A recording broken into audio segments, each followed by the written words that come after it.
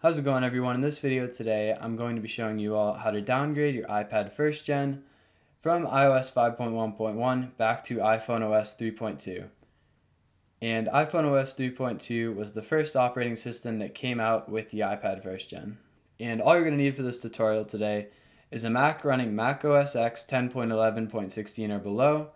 And that's because the applications we're going to be using today are much older, hence the older iPad and they don't run on newer versions of Mac OS X. And you're going to need your first gen iPad, and you're also going to need a 30 or 40 pin connector. Honestly, I honestly forgot what these are called to connect your iPad to your laptop. And one other thing I should mention before we continue is that this is only a tethered downgrade. And what tethered means is every time your device is restarted, you're going to need to plug the iPad back into your laptop and you're going to have to open up Redsn0w in order to boot back into iOS.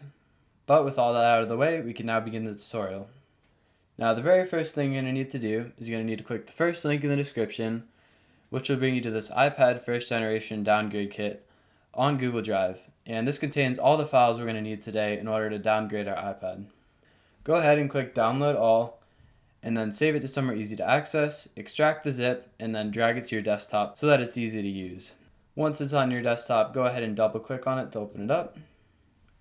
And inside of that folder there, you should see two folders, one called boot and another called downgrade files. And inside of boot, there should be two files, and then inside of downgrade files, there should be four, and it should look exactly like this. If they don't look like this, let me know down below, and I'll make sure to fix my folder.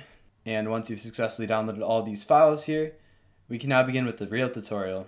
Now the first thing I always recommend doing before messing with the different iOS versions on like different Apple devices is just giving your device a fresh restore. And this helps to minimize like any errors or issues. And all you need to do in order to restore your device is go ahead and plug it into your laptop with a 30 or 40 pin adapter. Once your iPad's been connected, it should show up in iTunes. And if you've never connected to your laptop before, it's just going to say set up your new iPad. I'm to click set up as new. And depending on the version of iTunes you have, it should, it should look pretty similar to this you're just going to want to look for summary and then you're going to want to look for restore iPad. And in order to restore your device properly, you're going to want to use the IPSW file that I provided in my Google Drive folder. And select that IPSW file, you're going to want to hold Option while clicking Restore. And then this will give you the option to select the IPSW rather than using Apple's. So then just find the folder called iPad First Gen Downgrade Kit, go to Downgrade Files, and then look for, for iPad 5.1.1 and then IPSW after it, and then click open. And then it's going to say iTunes will erase and restore your iPad back to iOS 5.1.1 and will verify the restore with Apple. Just click restore. And it's now going to go ahead and restore your device for you. And this process here will take 5 or 10 minutes.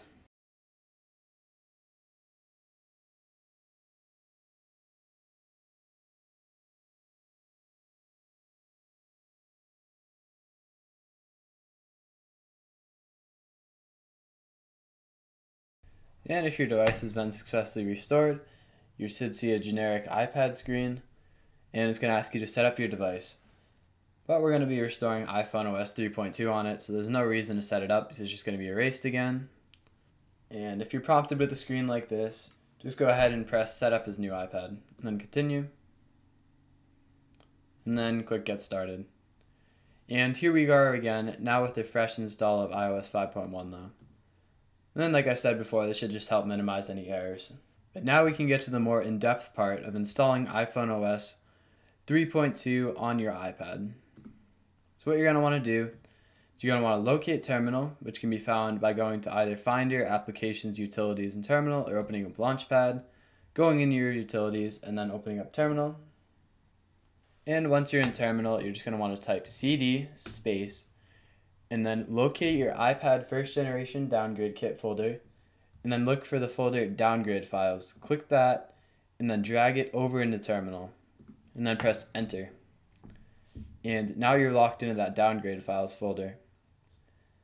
Now what you're going to want to do is you're going to want to type period slash ireb and then press enter. And now you're going to want to put your device in a DFU mode. And at first, this can be a little challenging, But once you do it a few times, you'll get the hang of it. So all you have to do is you're going to want to power off your device. So hold the power button as usual. And then slide to power off. And now you're going to want to hold the power button for just about four or five seconds. One, two, three, four. And then hold the home button at the same time. Don't let go of the power button. And then hold this for another 10 seconds. And then let go of the power button and just keep holding the home button.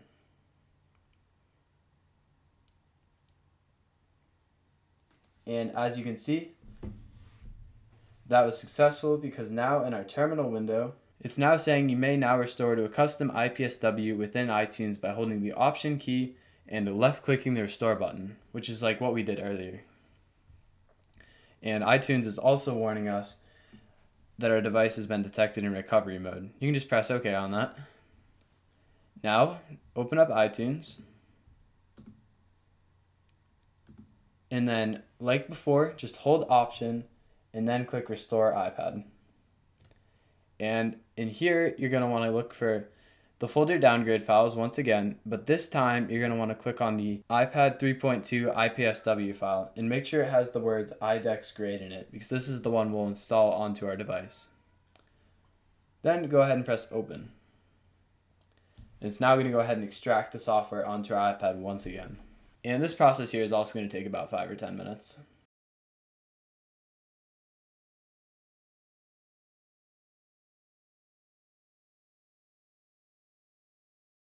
And if that iPhone OS 3.2 installation was successful, you should now see that your iPad is in recovery mode.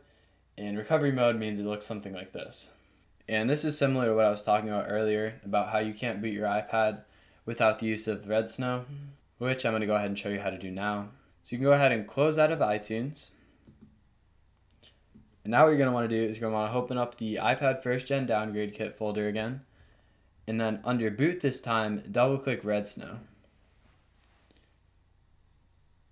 And if it asks you for permission to open, just click open. And what we're going to do here is it's asking us to select the iPhone OS 3.2.2 IPSW file. And to do that, just click Browse. Locate the iPad first gen downgrade kit folder, and then click Boot this time. And then you're going to want to select the iPad 3.2.2 Restore IPSW, not the IDEX one. Make sure you select this one and then it's going to process the firmware. And if you did it all correctly, it should be it should be just fine. It should say IPSW successfully identified, then press next if so. And now it's going to ask us to select our boot options. And for this tutorial, we're just booting it tethered. We're not installing Cydia or any of that right now.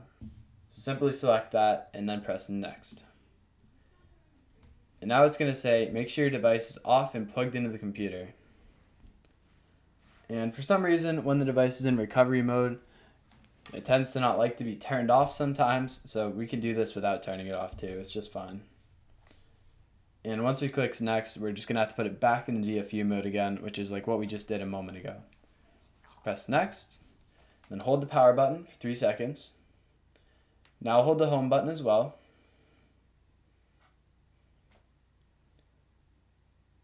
And while holding both down, just release the power button and keep holding the home button.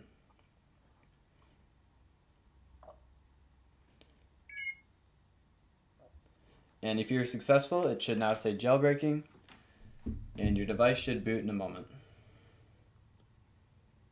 And now what you're going to want to do is you're going to see that it's going to ask you to connect to iTunes.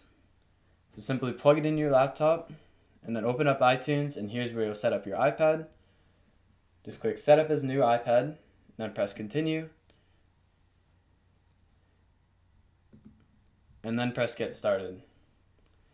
And your iPad is now on iPhone OS 3.2. As you can see, iPhone OS 3.2 is very bare bones. Swiping to the left literally just gives us a search function. And these are the only apps that came pre-installed. And if you guys found this helpful, please do feel free to let me know down in the comments below. And if you want, go ahead and leave a like. And as always, I am here to answer your questions, so leave a comment for that too, I guess. But thank you all for watching, and I hope to see you again in another video.